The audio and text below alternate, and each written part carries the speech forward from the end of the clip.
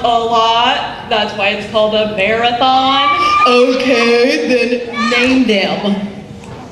Well, there's that Disney one with um, a Native American and a girl. And it's animated, and, and I can't tell you the name because we'll probably be sued. Others know. Do you see how they've helped you? Okay, Mrs. Smith, stop, stop, stop. You are missing the whole point. Boys and girls, do you remember earlier when I said that one way to show gratitude is by taking the time to think about all the good things we have in our lives?